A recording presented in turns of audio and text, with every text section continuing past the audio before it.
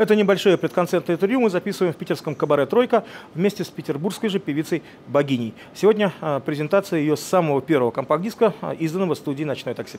А, Лена, два слова для нашей публики относительно того, как создавался ваш альбом. Альбом на самом деле получился весьма интересным, потому что в нем одна половина – это музыка, которую делал для вас Армен Аганесян, а вторая половина – это большой поэтический концерт. Для меня очень э, важно, я думаю, важно будет и для тех, кто смотрит нас на нашем телеканале, канале, почему вот так, э, первый альбом и сразу с одной стороны э, стихи, э, а с другой стороны песни. Обычно стараются так не делать. Обычно стараются сначала издать музыкальный альбом, а затем показать и другие способности певицы, к тому же вы и автор тоже. Поэтому вот почему получилось так, что в вашем первом альбоме сразу и стихи и музыка? Ну, потому что стихи – это вообще первично в моем творчестве. Сначала я начала писать стихи, и поэтому, естественно, что Самым главным я считаю, что прежде всего я поэтесса. Вот. А потом стала писать музыку. И музыку и стихи для своих песен я пишу сама. Армен Аганесян сделал прекрасные аранжировки, очень немного помог по вокалу, и получился такой очень интересный, на мой взгляд, прекрасный альбом «Любовь рождает жизнь».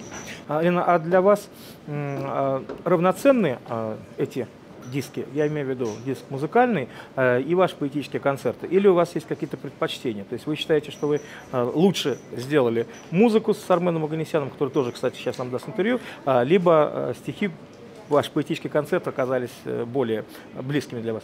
Ну, я бы сказала так, что на самом деле они равноценны, но если смотреть с точки зрения науки и влияния благотворного влияния голоса на здоровье человека, то диск, который мы говорим о стихах, именно стихи. Поэтический концерт. Да, поэтический концерт, он влияет на здоровье больше. Так, дока так доказано научным экспериментом. Угу. То есть э, вы хотите сказать, что э, эта пластинка, она имеет еще и вот такой, как бы, что называется, э, утилитарный э, смысл, да, утилитарное приложение. Я имею в виду стихи. Это не только ваше творчество как поэтессы и не только исполнение поэтическое, да, специально заведомо без музыки, да, именно как вот акапелла, а, а именно это имеет еще и вот такое, как вы считаете, лечебное значение, да? Да, но это не я считаю, я просто принимала участие в научном эксперименте в прошлом году э, по изучению воздействия голоса на здоровье. И было выявлено, что мой голос очень благотворно влияет на здоровье людей. Вот именно поэтому я стала петь чтобы подарить свой дар людям.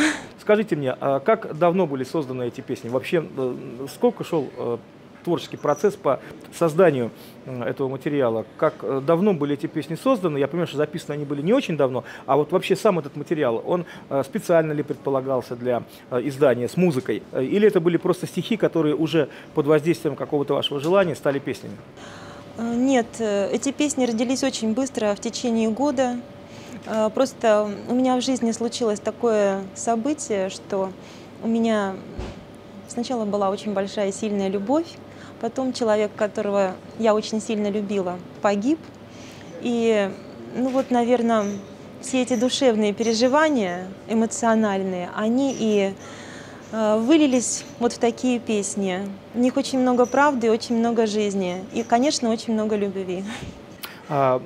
Вы относите, э, Лена, свое э, творчество музыкальное к какой-либо определенной музыкальной стилистике? Вы знаете, бывают люди, которые говорят, я, например, э, там, исполняю там, рок-музыку, я исполняю там, хип-хоп музыку, там, джаз. А вот вы какие-то жанровые, стилевые рамки для своих песен определяете? Или вы считаете, что это творчество, которое идет как свободный такой поток творческий?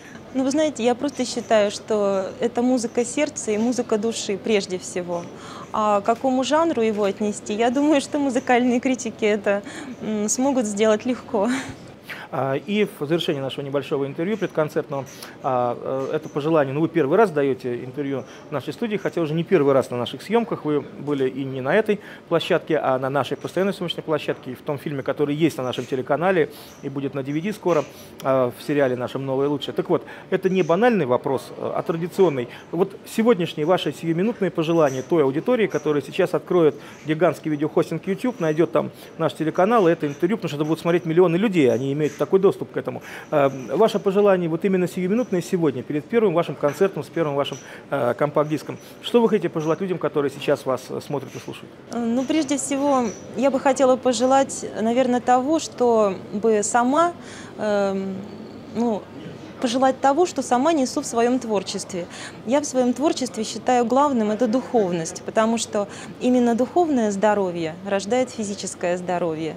И мне бы хотелось всем пожелать счастья, любви, успехов, чтобы наша Земля, наша планета процветала и была счастлива.